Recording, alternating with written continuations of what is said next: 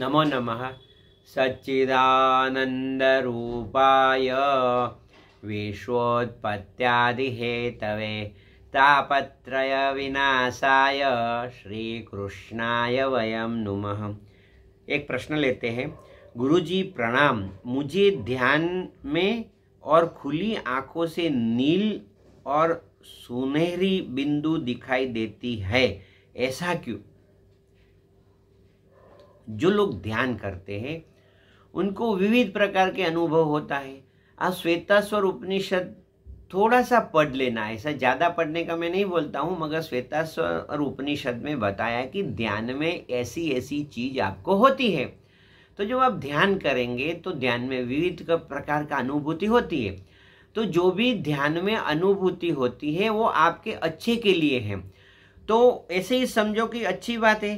अभी उसे कोई शारीरिक परेशानी तो नहीं होती है ना? यदि शारीरिक परेशानी होती है तो आँखें बंद करके ध्यान लगाइए और बोलिए कि मैं ये अनुभूति नहीं चाहता हूँ, या मैं अनुभूति नहीं चाहता हूँ, चाहती हूँ तो ये बंद हो जाएगा। ऐसा नहीं कि जो हो रहा है, वो होता ही रहेगा।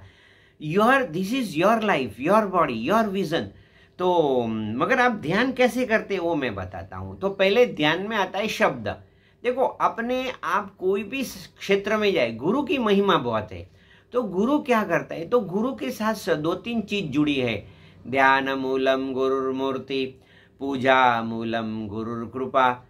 ये जो पूजा जो है तो एक मंत्र मूलम गुरुर वाक्यम। तो ये जो श्लोक आपने सुना होगा, ध्यानम, ध्यान मूलम गुरुर पूजा मूलम गुरुर पदम मंत्रमूलम गुरुवाक्यम मोक्षमूलम गुरु कृपा तो गुरु का मतलब है, आपसे मैं बताता हूँ, ऐसा नहीं कि गुरु स्थूल फॉर्म में ही रहता है, गुरु तो सूक्ष्म में भी रहता है, गुरु तो गुरु है। उसका ऐसा नहीं कि ये रूप में रहेगा, वो रूप में रहेगा। गुरु का, आप गुरु के बारे में क्या जानेंगे, सुनो।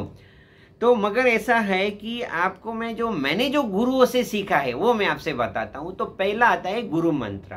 तो एक मंत्र को सिलेक्ट कीजिए, गहरा श्वास लीजिए। ओम नमः ओम नमः ओम नमः, ओम गुरु, ओम ओम गुरु, ओम ओम नमो भगवते वासुदेवाय, ओम नमः शिवाय, वाहे गुरु वाहे गुरु वाहे गुरु। जो भी मंत्र आपको सेट होता है, वो बोलिए। फिर जब श्वास लेने की ज़रूरत पड़े तो नाक से श्वास लिए फिर से बोलिए, ये जब आप करेंगे तो पहला स्टेप होगा। ध्यान का पहला स्टेप पकड़ लो, फिर दूसरा था आत्मविचार। मैं शुद्ध हूँ, मैं बुद्ध हूँ, मैं दिव्य हूँ, मैं पूर्ण हूँ, वो आत्मविचार। फिर तीसरा आता है, जो भी आप गुरु मानते हैं, कृष्ण परमात्मा को मानते हैं, या कोई माँ बाप को भी गुरु मानते हैं तो उसकी पूजा करो, मानस पूजा करो। ये जो तीन चीज़ है, वो ध्यान का प्रथम है। This is three three steps जो मैंने बताया, शब्द, विचार और चित्र, उसी आगे ध्यान करोगे तो ऐसा कोई बात नहीं है। ऐसे देखो, आपकी स्थिति के हिसाब से जब प्रश्न उठता है तो ऐसा जवाब है। तो चलो, आप, मैं तो यही समझता हूँ कि आपको जब नील बिंदु दिखता है तो ऐसे ये बहुत अच्छी बात है। जो सिद्ध गुरु लोग की बुक रहती है, ऐसा मैं तो ऐसे आपको, ऐसा नहीं, वो ये बुक पढ़ो, ये बुक पढ़ो। मगर उसमें बताया कि नील बिंदु जब दिखाई देते हैं तो साधक की स्थिति बहुत ऊँची होती है।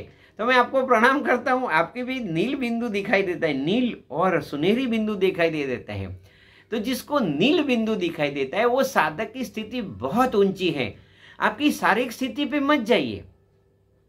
आप तो बोलेगे, मेरे अंदर तो ये है, ये, वो मत, आपकी आध्यात्मिक स्थिति ऊँची, आप कुछ लेके आए हैं पूर्व जन्म में। तो बस, आप साधना कीजिए आपका बहुत विकास होगा और मे गॉड ब्लेस यू आपको जो भी पसंद है वो शब्द कीजिए, फिर विचार कीजिए और फिर मानस पूजा कीजिए, शब्द, विचार और चित्र। तो ये साधना करके बाद आप ध्यान में जैसे आगे बढ़ेंगे, आपको बहुत कुछ लाभ होगा। मे गॉड ब्लेस यू आनंद में रहो, मौज में रहो, हर हाल में खुश रहो enjoy every moment of the life ओम नमः। ओम नमः।